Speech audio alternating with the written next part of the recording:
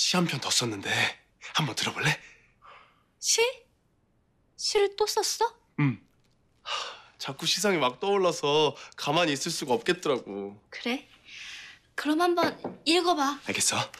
아, 그 전에 이 시에 대해서 잠깐 설명을 하면 난 야구 때문에 상처를 받은 한 마리 짐승이니까 더 이상 날 건드리지 말라는 경고의 메시지를 담은 거야. 그럼 들어봐. 제목 그르러. 국기보 요 오케이.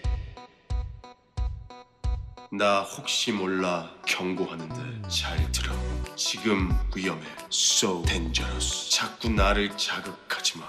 큰일 나. 나도 날 몰라. 이제 조금씩 사나워진다. 나 그르렁 그르렁 그르렁 대나 그르렁 그르렁 그르렁 대너 물러서지 않으면 다쳐도 몰라 어때? 오, 좋은데? 느낌 있다. 그지 그지?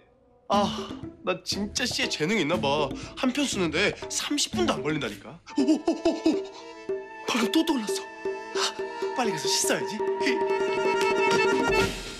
야, brother. 이번 거는 좀 괜찮지 않냐? 괜찮기는 얼어 죽을. 저 엑소 으르렁이잖아. 으르렁을 그르렁만 바꾼 거구만 무슨. 어쩐지 듣는데 어깨가 막 들썩이더라고. 누나 쟤 계속 저러게 놔둘 거야? 그럼 어떡해. 저렇게 열심히 하는데 돈 드는 것도 아닌데 그냥 모른 척해, 모른 척.